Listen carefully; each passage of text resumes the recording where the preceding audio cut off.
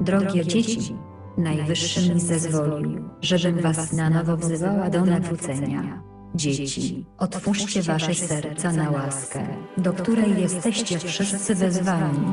Bądźcie świadkami pokoju i miłości w tym niespokojnym świecie. Wasze życie jest przemijające tutaj na ziemi.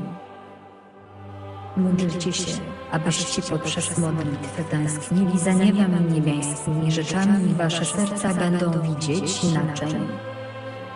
Nie jesteście sami, ja jestem z wami i oręduję przed moim Synem Jezusem za wami. Dziękuję wam, że odpowiedzieliście na moje wezwanie.